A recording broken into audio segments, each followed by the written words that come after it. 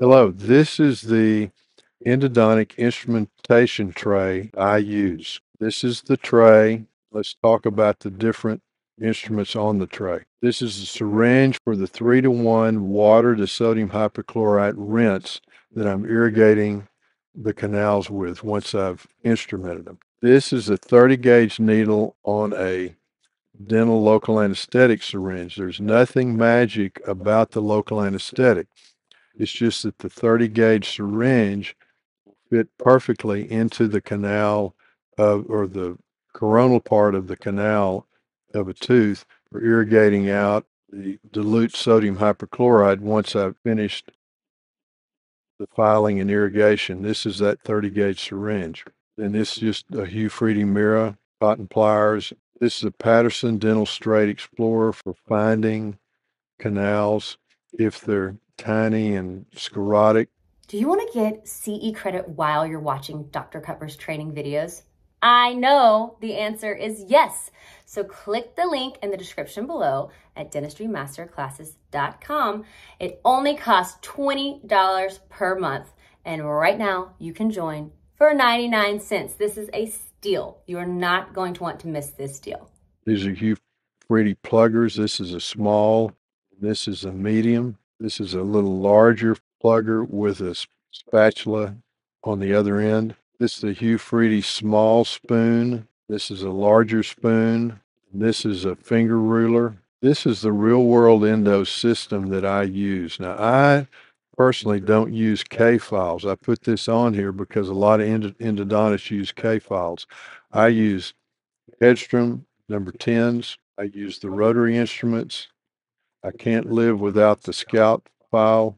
These are fabulous for finding tiny little canals. If you can't find them and you've removed some structure on the roof of the can- of the canal of the pulp chamber, you can take these little files in your handpiece and just poke. Nine times out of ten, they'll find that tiny little canal. And then this is a a one size does all file and these work real well. So the Scout file, like I said, they're fabulous for finding little tiny canals. Lubricate the uh, pulp chamber and then take this file on a handpiece, rotary handpiece, and just poke on the floor of the pulp chamber. And more often than not, this will find the canal in my hands much better than a hand file. And once I've located the, the canal and taken the Scout file to length, I'll come back with a number 10 Hedstrom file and file it really well and irrigate with the three to one water the sodium hypochlorite solution. So it's three parts water, one part sodium hypochlorite. And it's very important that you hand file well because if you use rotary files long enough, everybody's going to have a separated file. Now, what I found is if you've cleaned and irrigated the canal really well with the Hedstrom hand files or the K-type if you'd rather use those.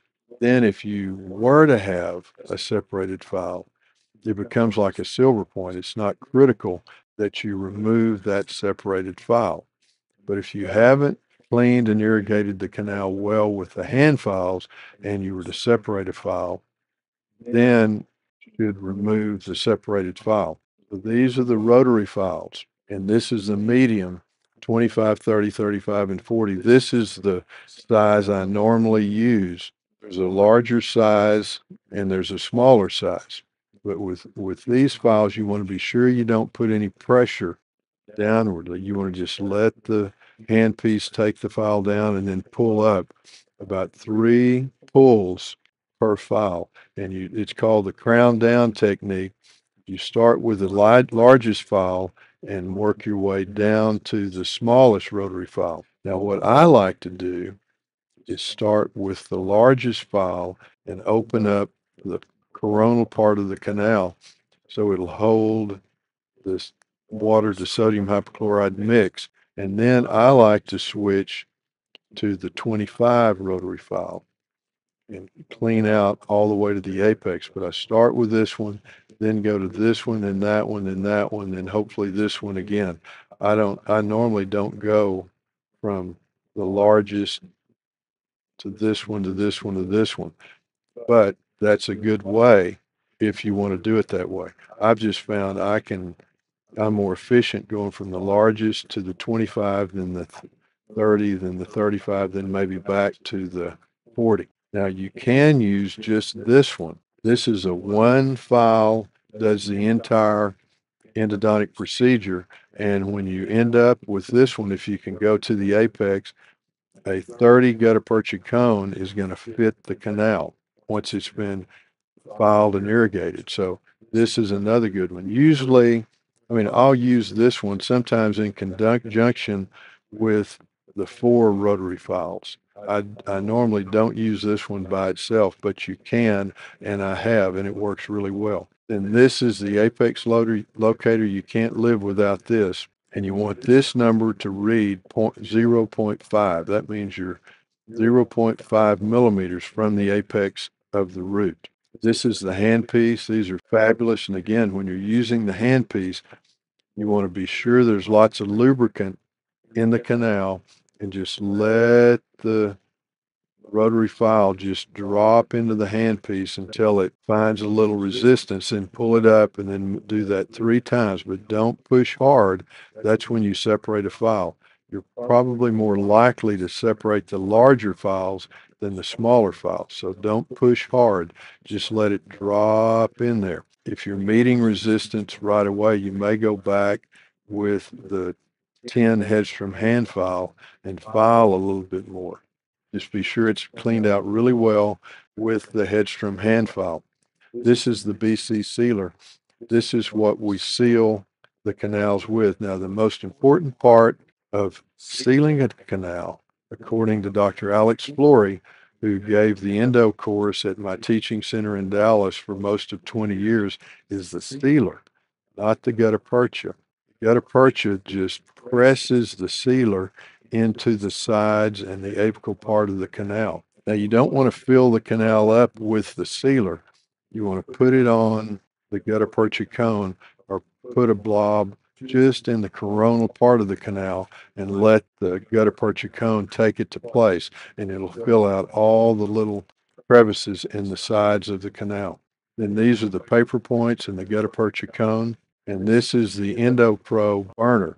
This cuts off the excess part of the gutta percha cone. Now, back in the day, we had to heat a uh, periodontal elevator in a Bunsen burner and sear off the gutta percha cones. This is so worth it. It's so easy. You just put this tip on the gutta percha cone part sticking up out of the out of the canal and just sear it off. And then I like to fill the coronal part of the preparation with IRM. And I've done this for 40 years. Now you can use composite. I use the IRM and I plug it with this lar- this medium-sized plugger. So once we place the IRM, and I want that mixed firmly, not rock hard, but just so it has some body. It doesn't stick to your fingers. And we've got a, a, a video in the library of dentistrymasterclasses.com on how to mix IRM. So you want it where it doesn't stick to your fingers when you roll it together. And then once I plug it in the coronal part of the preparation, then I plug it with this amalgam plugger.